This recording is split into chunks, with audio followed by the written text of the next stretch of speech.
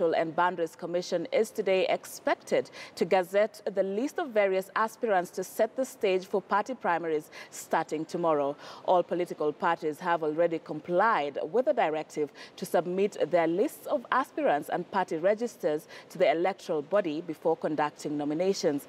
The Orange Democratic Party is scheduled to kick off its party primaries tomorrow in Busia, Bungoma and Machakos counties. The party was forced to move the exercise to this this week after IEBC declared any nominations conducted before the gazette, gazettement rather of aspirants illegal. The parties have also submitted party registers to the Independent Electoral and Boundaries Commission, but more than 60% of registered voters will not participate in those nominations as they are not registered members of various political parties. ODM primaries start on Thursday, while Jubilee will conduct theirs on April 21st.